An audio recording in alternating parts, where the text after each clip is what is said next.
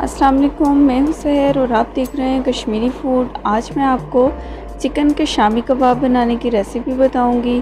तो मेरी वीडियो को कंप्लीट वॉच कीजिएगा। अगर आप मेरे चैनल पर न्यू हैं तो सब्सक्राइब कर लीजिएगा। चलें अब कबाब बनाना स्टार्ट करते हैं। चिकन के शामी कबाब बनाने के लिए मैंने पाँच से छः गिलास पानी डाला है एक कढ़ाई में। उसमें मैं डालूँगी ये पाँच से छः पीसीस हैं चिकन के, जो कि आधा किलो चिकन बन रहा है और ये बॉन बॉन के साथ है।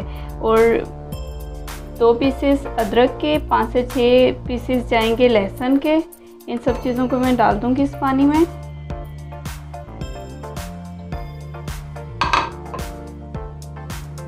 और ये चने की दाल। आधा पाव चने की दाल है, जिसको मैंने आधे घंटे के लिए भुगो के रख दिया था।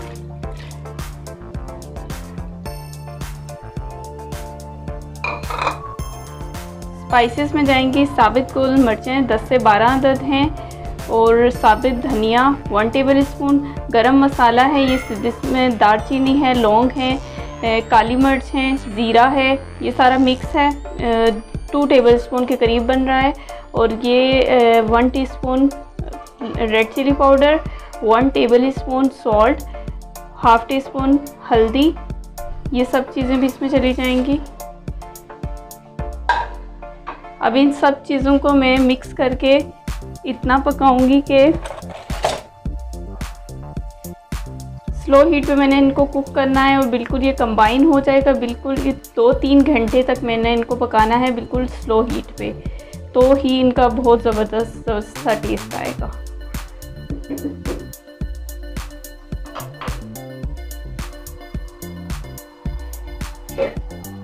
ढक दूँगी, ढक के तीन घंटे के लिए पकाऊँगी और फिर जब ये बिल्कुल पानी ख़त्म हो जाएगा इसमें से तो मैं इसको निकाल के चॉपर पे पीस लूँगी।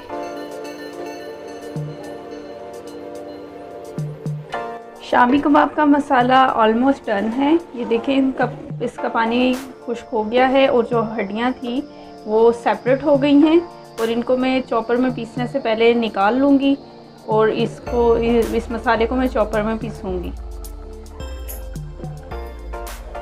फिर हम अपने कबाब तैयार कर लेंगे।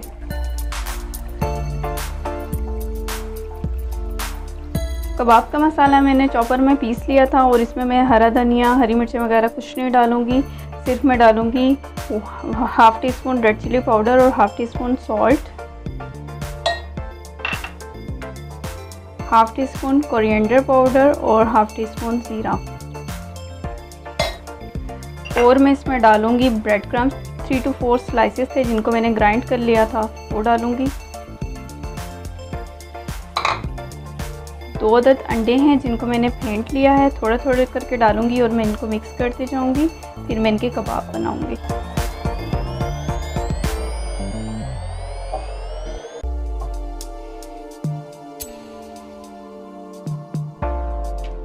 जी व्यूवर्स कबाब को मैंने अच्छे तरीके से मिक्स कर लिया था और एक प्लास्टिक शीट में मैंने ऑयल को ग्रीस कर लिया था और उसके ऊपर ये कबाबों का मसाला बिछा दिया है। आप अपनी मर्ज़ी से हाथों से भी गोल कर सकते हैं, लेकिन मैं एक कैप का इस्तेमाल करूँगी। इस तरीके से हम अपनी शेप देते जाएँगे कबाबों की।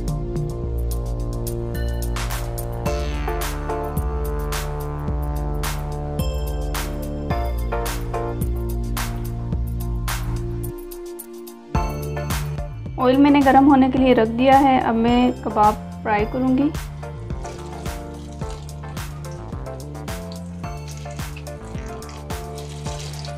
आप अगर अंडा नहीं डालना चाहते तो आप ब्रेड क्रम्स डाल के मिक्स करके आप मैदे पानी में तीन चार चम्मच मैदा मिला के उसमें ये डिप करके आप फ्राई कर सकते हैं। अब मैं इनकी साइड्स चेंज कर लूँगी। ये देखें बिल्कुल भी नहीं टूटे ब्रेड क्रम्स डालने की वजह से ये टूटते नहीं हैं।